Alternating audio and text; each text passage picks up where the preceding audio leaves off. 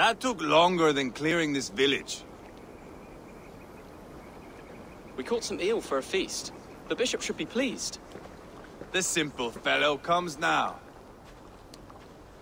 Ah, a strange way to celebrate victory. But then again, our Christ was a fisher of souls, was he not? Bishop, greetings. We've the makings for a delicious soup. I'm grateful, Ceolbert, but my heart is heavy. So many homes burnt. We'll be years rebuilding. You should have seen Ceolbert fight. He will be an ealdorman with sack and guts, fearsome and raw. I should rather be fair and just, but I take the compliment. I have sent word to the Britons. I pray King Rhodri will again be open to peace, in spite of his brother's murder. It worked in our favor. Look where we landed.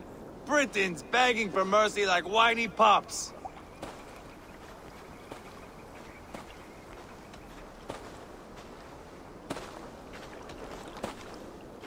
The fighting is done, but the talking is not yet begun. We'll need to be careful about who attends our negotiations. Our next steps are critical, my lords. And after what happened in Quatford, it is clear to me that Ivarr should lay low. Lay low. After all I have done here, you tell me to dunk my head? The good bishop is right, Ivarr. You have a warrior's heart, not a peacemaker's. Fuck you, Wolf-Kissed. I know Rhodri, and I know the kind of tricks he will pull. That is me warning you. If you hear me farting, that is my welcome to the bastard. You bruised his pride, Eivor.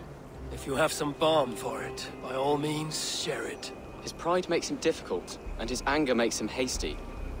But he is not without honest feeling. I will hunt him a great boar, I think. And together we'll roast it over a fire and tell tales of war. That should please him. Bishop, we must prepare for Rhodri's arrival. Rally our men and set up a camp just here.